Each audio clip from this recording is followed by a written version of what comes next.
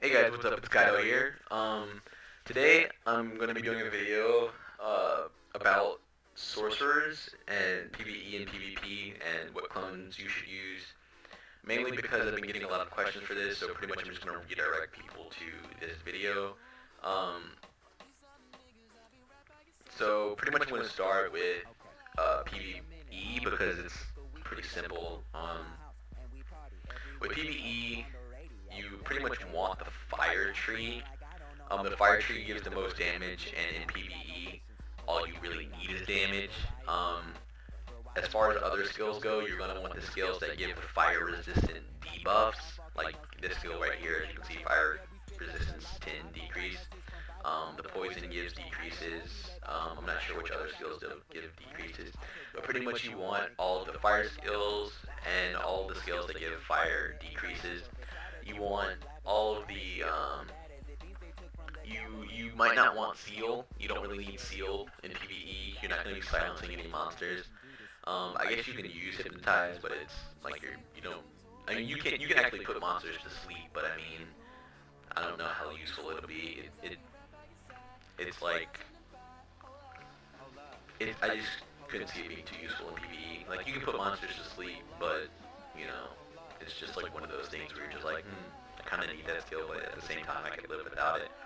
But yeah, you definitely want the. I mean, regardless if you're doing PvE or PvP, you want the the passives and the buffs. Um, like you want all of this, you want this. Um, and also another thing with PvE is um, I think the okay. Well, first, don't get this skill. This skill actually does not stack with this skill, so this is a waste of skill points. But um, I think mental training is good. I think the physical protection and the health booster are both good, mainly because they give HP and defense. And especially when you're soloing, this really helps out because mages already have low defense and HP.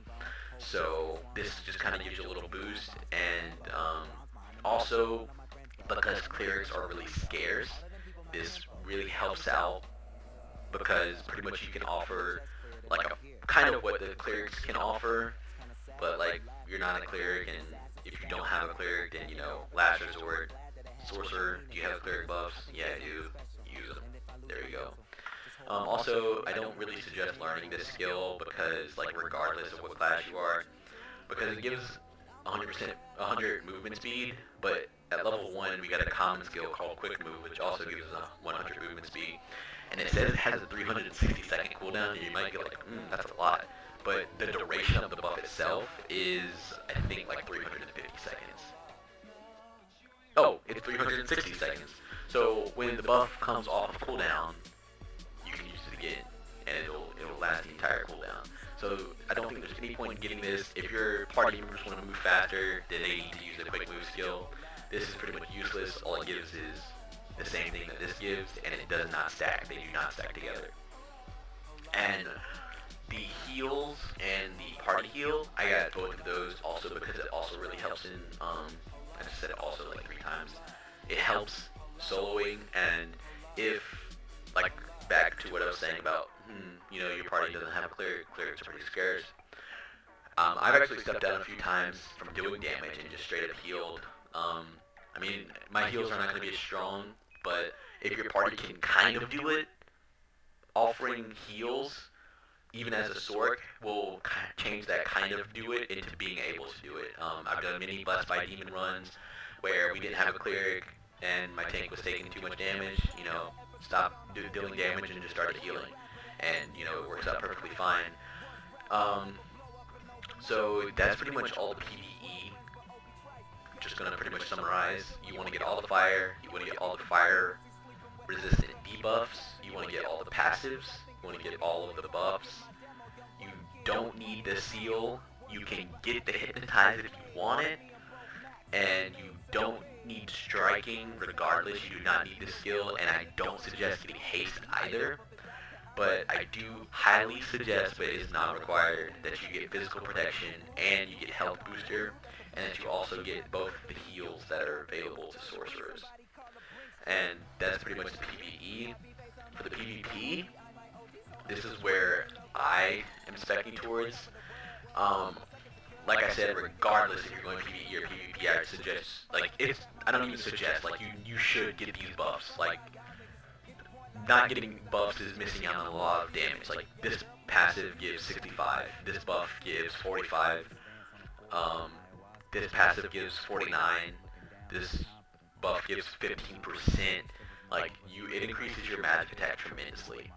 Um, this buff increases your mana regeneration, and when you're high level, you need mana regeneration, like a few skills, and you'll be out of mana. Um, thing about the Seal and Hypnotize, those are both very, very good in PvP. Seal, especially when fighting other sorcerers, is very useful. Um, elemental Resist is also very useful when fighting other sorcerers, and some monsters have elemental abilities, so it also helps. And then Hypnotize, you know, you just pretty much knock anyone to sleep, like, lights out. They're, they can't do anything. It's another form of crowd control. Which leads me over to how I build my skill tree. Um, I did not spec fire. Um, a good indicator of what you should build or what you want to build is like just the best indicator is to scroll all the way down and then look at the skills and work your way up. As you can see, um, fire skill 1.3 or 1.4k percent plus 450. Um, so fire like extremely high percentages. Ice 1.3k percent 540. And you'll see this trend throughout the entire tree. Um, ice 120%. Um, fire 500%. Um, ice 160%. Fire 300%. Like Fire just provides so much more damage, which is why I really suggest it for PvE, because that's all you're going to need to be able to, like, that's all you're going to have to do is just damage. Like, you're not going to need any crowd control because you'll have a tank and a healer. It's, like, the monsters should never be touching you anyway, because if you do get touched, especially in a high level, you'll probably just get two hit and die.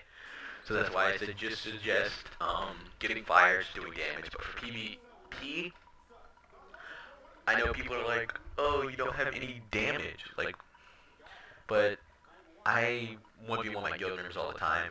Assassins and knights cannot touch me.